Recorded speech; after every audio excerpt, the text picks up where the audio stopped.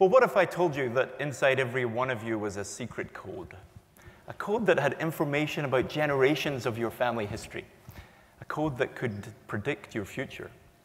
What if I told you there was a code that would dictate for some of you how you live and even how you die? Your genome, the genetic code, is four letters wrapped tightly around 23 pairs of chromosomes, 3 billion base pairs of data, 6 billion data points in total. If you were to stare at this screen continuously every second, you know, day and night, it would take you over a month to see your whole genome.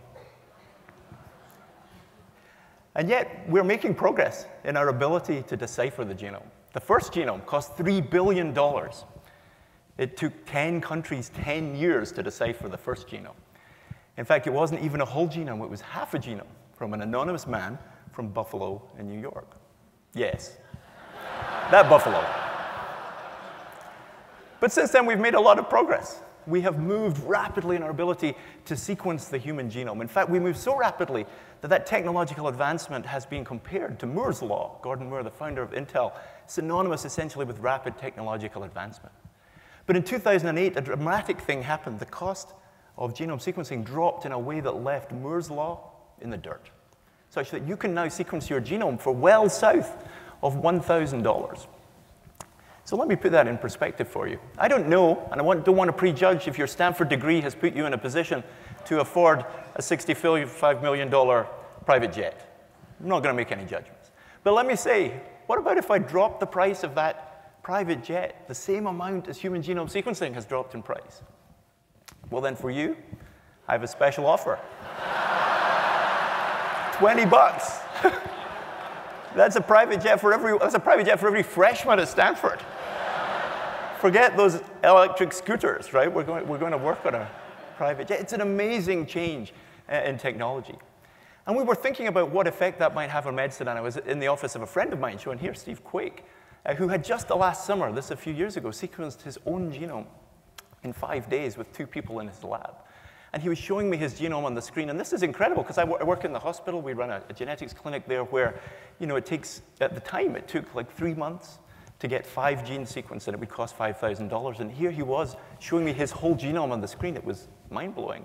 And as he showed me gene after gene with variant and after variant in it that potentially were associated with heart disease, I began to ask him a few more questions. And over the course of the next few weeks, we established that he had a significant family history of heart disease. Everywhere you see orange in this graph is somewhere that Steve has heart disease in his family. And when he told me that his cousin's son had recently died aged 19 with no prior history, just didn't wake up one morning, I knew that Steve, my friend and colleague, was about to become Steve, my patient. But he was also about to become the first person ever to walk in to a clinic with his genome on a hard drive. And more than that, it was my clinic he was walking into. so what do you do when you have a problem like that? Well, you, you go talk to your friends, and we put together a team at Stanford to basically bring everything we knew about genetics the whole world of genetic knowledge to bear on this single uh, one genome. And we spent a year and we, we published a paper about it. But what could you do with that kind of information? Well, here's one example. His traditional heart disease risk score was really no help whatsoever in telling us, should we prescribe a cholesterol lowering drug for him? It just said, well, we don't know. So maybe we thought we could look in his genome. And his genome indeed did tell us that he had inherited some of that risk for heart disease, rare variants and common variants. What about could it tell us, would he respond to the medication? Yes, in something called pharmacogenomics, we're able to say yes, he would respond. What about would he get the side effects? Actually, he did not have the variant that would suggest he would get the side effects. So we were able for the first time to make a genome-informed personalized medicine decision. And over the course of the next few years, a few people noticed that the genome was here and that we could do things with it. One of them was this guy, our former president. And in the State of the Union address in 2015, he announced a precision medicine initiative an initiative essentially that would fund research into the idea of using the genome as a molecular microscope to understand disease better at a deeper level in order to target it more precisely. And one of the conditions that we now define in a much deeper way is called long QT syndrome. The heart, when it recovers, has a, an interval called QT, and if it's too long, that can predispose to dangerous heart rhythms. And we first got to know about the next patient when she was 36 weeks of gestation, still in her mother's womb.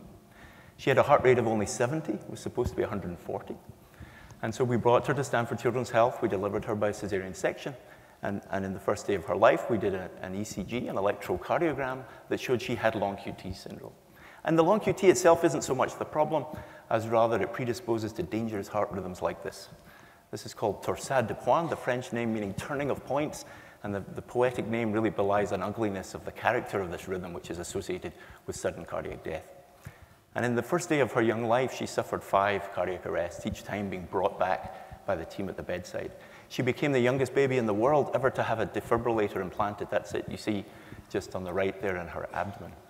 Now, normally, to understand this condition at a deeper level, we'd, we'd have to send a test that took three months, cost $5,000, and she just didn't have that kind of time.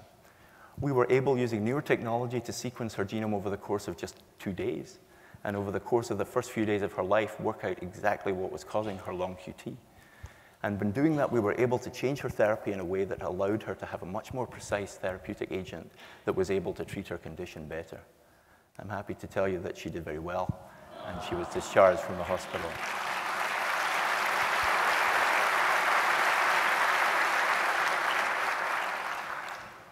Well, this person uh, isn't a patient of ours, um, thankfully. This is Odysseus, who is the hero of Homer's uh, Odyssey. And he spent 10 years after the Trojan War trying to get to reclaim his rightful throne as the king of Ithaca. But his name, Odysseus, became the word Odyssey and became synonymous with the idea of a long and arduous journey to get to a final destination. Well, some of our patients have those odysseys too, medical odysseys. They go from doctor to doctor to doctor, accumulating medical records just as you see on the screen, piles and piles of them with no answer, mystery diagnoses. And so the question is can we bring to bear the genome to, to help them? Patients, where do they go when they have that, that kind of problem? Uh, well, we formed a network in 2014 called the Undiagnosed Diseases Network to be able to use this kind of technology to try to solve the hardest cases in medicine. And these are cases uh, like this one, this little girl, who, when she was born, had a, a, virus that essentially caused her to go into a state of lactic acidosis. You imagine, you know, if you exercise really, really hard, you feel really terrible all over body pain. Imagine that the slightest stress causes that and puts you in hospital. This is what she was suffering from. But all the standard tests just didn't have an answer for her. They didn't have an answer until we started to sequence her whole family, her mother, her father, and herself. We were able to define a new syndrome, a metabolic syndrome, and give her the answer that she waited for and allowed us to start to think about how we could uh, treat her better and more precisely. We use genome sequencing, as shown here, but we're also able now to make stem cells. We can make little cells and make little versions of her organs in a dish. This is a picture of a, an electron microscope of her heart in a dish. Actually, cells that started as blood cells that we took out and turned them into heart cells. And you can see the, the powerhouse, the mitochondrion of the cell uh, on the left is normal, and hers on the right looking abnormal. The explanation for her metabolic disorder. Or this family uh, who had two little boys, really cute little kids who grew up really unable to, to walk or to, to talk properly, and were living, uh, going from doctor to doctor with no one really able to give a, a real answer. Until they came to the network, we were able to sequence the whole family and work out that they had a new form of a neurological disease. They've now connected around the, the globe with others who have the same condition and are starting to put resources towards finding an answer. This is the kind of power that we have in genome sequencing. And we released this data just, just uh, last week, in fact. It's very new. Uh, in the first 18 months of the network, uh, we accepted nearly 700 patients. We solved a third of those cases and defined 31 uh, new syndromes. And what I was really happy about was that for those cases we solved, in 80% of the cases, we were able to change the medical management. 20%, there was a specific therapy that became available that we were able to give. And more than that, ending the emotional odyssey is one thing. But we were also able to, to end the healthcare cost as well. It's really expensive for these patients. And the cost after genome sequencing was 6% uh, of before. So we have this amazing technology that we can bring to bear. What does the future hold? The future should take this, I hope, from rare disease to be able to do precision medicine for everybody.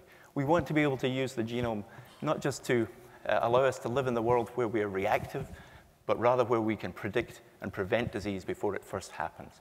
That is the world of precision health. Thank you so much.